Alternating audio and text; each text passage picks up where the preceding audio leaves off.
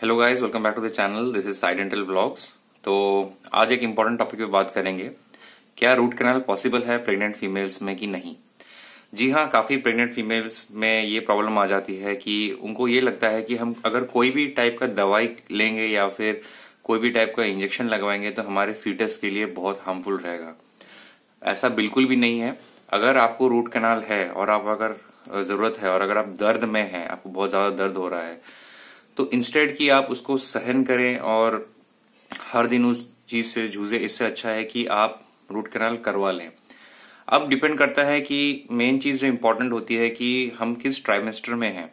तो काफ़ी बार हम लोग जब आ, हम जब प्रेग्नेंट होते हैं तो डॉक्टर्स के पास हम अल्ट्रासाउंड कराने जाते हैं। तो जो फ़र्स्ट वन मंथ होता है बहुत ही इंपॉर्टेंट होता है। उसमें ज़्यादा बॉडी की मूवमेंट नहीं करनी होती है और इधर उधर जाने से भी प्रॉब्लम है। तो डॉक्टर्स लोग यूजली एडवाइस करते हैं कि आप फ़्लाइट में ना जाए या फिर लॉन्ग डिस्टेंस कार ड्राइविंग या फिर इस तरीके की चीज़ें ना करें जो कि आपकी बॉडी जिसमें मूवमेंट हो।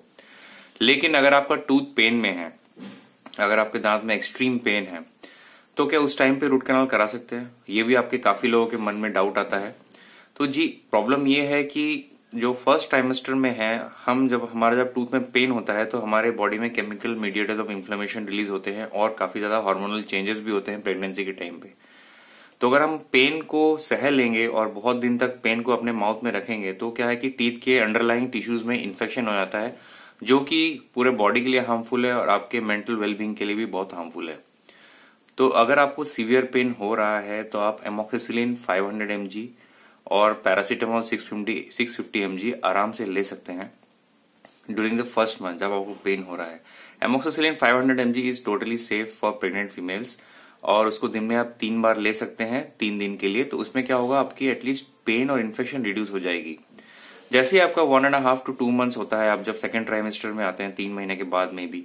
अगर आपका पेन सब्साइड हो गया तो ठीक है, पहले में आपने जो मेडिसिन ली। तो अगर आपका पेन सब्साइड नहीं होता है तीन महीने के अंदर तो थर्ड महीने में जो आपका सेकेंड ट्राइमेस्टर चालू होगा, उसके आप सेकेंड वीक में रूट कैनाल प्रोसीजर करवा सकते हैं। मैंने भी तीन चार पेशेंट्स के रूट कैनाल किए हैं ड्यूरिंग दैट टाइम इवन मैं थर्ड ट्राइमेस्टर में भी डिलीवरी के 25 30 डेज़ पहले भी मैं रूट कैनाल कर चुका हूँ।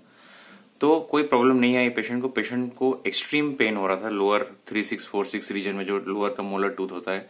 तो मैंने पेशेंट को ये एडवाइस किया कि आप रूट कैनाल कराइए और आश्वासन देना बहुत ज़रूरी है और डॉक्टर के ऊपर ट्रस्ट होना बहुत ज़रूरी है।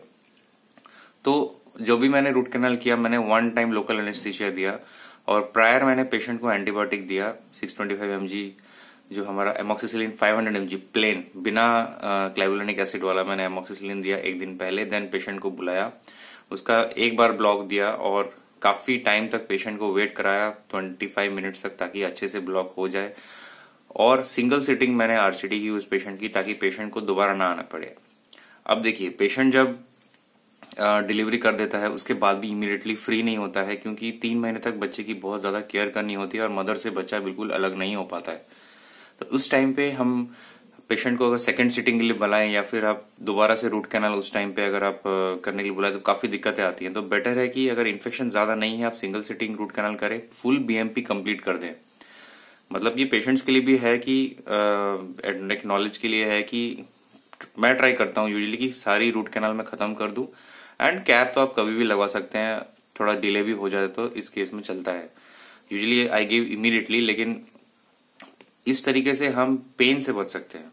ठीक है? अब काफ़ी लोग बोलते हैं कि, सर, हम दांत निकाल देंगे, दांत निकाल देंगे। वैसे करते करते पूरी प्रेगनेंसी उनकी निकल जाती है और वो प्रेगनेंसी के टाइम पे और प्रेगनेंसी के बाद में भी सफ़र करते हैं। ऐसे काफ़ी लोगों के साथ हुआ है। मतलब कि वो दांत में दर्द जो रहता है, वो रह ही जाता है। उसके बाद आप, बच्चा जब डिलीवर हो जाता है, तब भी पेशेंट को टाइम नहीं मिलता है डॉक्टर के पास, जाने के पास। तो बिल्कुल प्रॉब्लम ना आए। इसलिए अगर थोड़ा सा भी पेन है तो प्रेगनेंसी के पहले अगर आपको कुछ पेन वगैरह है तो प्रेगनेंट उस टाइम पे अगर आप प्लानिंग कर रहे हैं तो एक बार टीथ चेकअप ज़रूर करवा लीजिएगा। प्लानिंग करने के पहले क्योंकि उस टाइम पे अगर आपको कुछ प्रॉब्लम होती है तो ये सब आपको दिक्कतें फेस करनी पड़ती है। तो डेंटल चेकअप कराना बहुत ज़रूरी है before planning any pregnancy and during pregnancy अगर हो जाती है तो आप आरसीटी करवा सकते हैं। सेकेंड ट्राइमेस्टर में काफ़ी सेफ़ रहता है प्रोसीजर और आप पूछेंगे कि आरसीटी में एक्सरे लेना होता है तो आप आ, हमारे डेंटिस्ट के पास एक लेड एप्रन होता है। वो लेड एप्रन पहना के आपका एक्सरे लिया जाता है और अगर आप लेड एप्रन नहीं भी है तो उसका जो एक्सरे एक्सपोजर अमाउंट है, बहुत ही लेस रहता है। बहुत ही ज़्यादा लेस डेंटल का जो एक्सरे है, वो सीमित रहता है इस रीजन में। सेकेंडरी रेडिएशन रहती हैं, लेकिन that will not affect your foetus so till then अगर ये वीडियो पसंद आया तो do like share subscribe bye good day